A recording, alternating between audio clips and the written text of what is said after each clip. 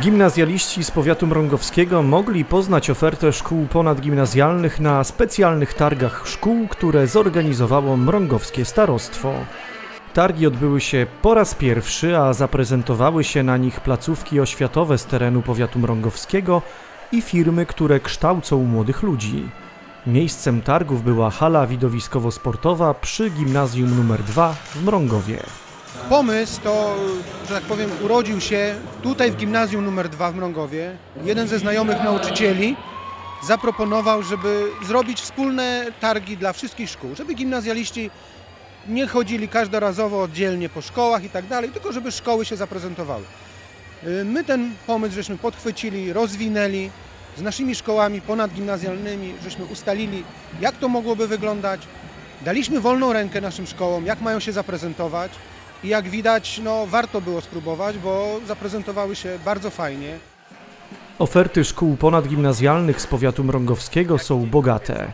Przekonywali o tym uczniowie i nauczyciele poszczególnych placówek. Mrągowskie pierwsze liceum ogólnokształcące zachęcało młodych ludzi do podjęcia nauki w murach szkoły, między innymi wysokim poziomem nauczania. Gwarantujemy wysoką jakość kształcenia. Mamy prawie 94% zdawalność matury. To oznacza, że no praktycznie każdy, kto zechce uczyć się w naszej szkole, ma gwarantowany sukces na maturze. Po naszej szkole może, można się dostać na bardzo dobre studia i są bardzo szerokie perspektywy, także możemy wszystkim serdecznie polecić naszą szkołę. Mamy wspaniałą kadrę pedagogiczną. Nauczycielom bardzo zależy na tym, e, e, żebyśmy e, zdobyli dużą wiedzę i na naszych sukcesach późniejszych, żebyśmy dobrze wybrali e, później studia. Oprócz nauczycieli i uczniów do nauki w swoich szkołach zachęcali dyrektorzy. Dyrektor zespołu szkół nr 2 Agnieszka Pytel zapraszała gimnazjalistów do zapoznania się z nowymi kierunkami kształcenia, które od nowego roku będą dostępne w placówce. Od tego roku planujemy troszeczkę rozbudować nasze kształcenie, e, troszeczkę je unowocześnić, między innymi przez to, że w Techniku Ekonomiście planujemy stworzyć e, innowację organizacyjną z taką specjalnością służby mundurowe. Planujemy, aby Technika Logistyka wzięła pod swój patronat Straż Graniczna. Również w klasie hotelarsko-turystycznej, bo planujemy utworzyć taką klasę łączoną, chcemy, już jesteśmy po wstępnych y, y, rozmowach i ustaleniach, aby nad młodzieżą hotelarską patronat objęła Polska Izba Hotelarstwa, natomiast nad, y, nad technikiem obsługi turystycznej Biuro Podróży Rainbow. Nowe kierunki kształcenia pojawią się również w zespole szkół zawodowych w Mrągowie.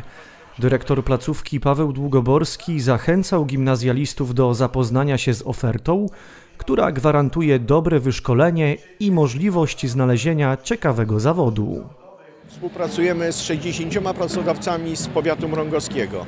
Jesteśmy w stanie zapewnić naukę praktycznie w każdym zawodzie, w którym młody człowiek znajdzie praktyczną naukę zawodu. Planujemy uruchomienie w tym roku również klas pierwszych w zawodzie technik informatyk, technik mechanik, technik pojazdów samochodowych, a także nasz e, sztandarowy, mam nadzieję, w tym roku produkt, jakim będzie technik przetwórstwa mleczarskiego we współpracy z Mlekpolem e, Mrągowo. To olbrzymie wyzwanie, ale także dla nas wielka radość, że spółdzielnia mleczarska w Grajewie podjęła się e, próby kształcenia techników. To szkoła XXI wieku. Na targach szkół mogliśmy poznać także ofertę Społecznego Liceum Ogólnokształcącego w Mikołajkach, Mrągowskiego Centrum Kształcenia i Zespołu Oświatowo-Sportowego Baza w Mrągowie. Ta ostatnia szkoła zapraszała do siebie przede wszystkim uczniów, którzy kochają sport. No Ja wybrałem sport, dlatego że całe życie uprawiałem sport, żeglarstwo to od urodzenia uprawiałem i tak naprawdę baza e, mi bardzo w tym pomogła. Ja na, na początku byłem tylko w klubie, a potem e, przepisałem się e, e, centralnie do szkoły, dlatego że, że właśnie dzięki tej szkole to nie kolidowało w ogóle, nie kolidowało to ze szkołą. Targi szkół spotkały się z dobrym odbiorem wśród gimnazjalistów. Taka forma prezentacji szkół przypadła do gustu młodym ludziom i pozwoliła podjąć decyzję dotyczącą dalszego kształcenia. Są różne prezentacje dotyczące danych kierunków szkół. Można poznać absolwentów i nauczycieli, dopytać się, jakie konkretnie są wymagania, czego uczą. Ja na przykład wzięłam udział w konkursie historycznym w pierwszym LO i pomogło mi to wybrać swój kierunek, więc prawdopodobnie wiem, gdzie się już wybiorę. Na ostateczną decyzję gimnazjaliści mają jeszcze trochę czasu, ale szkolne targi na pewno pomogą w jej podjęciu.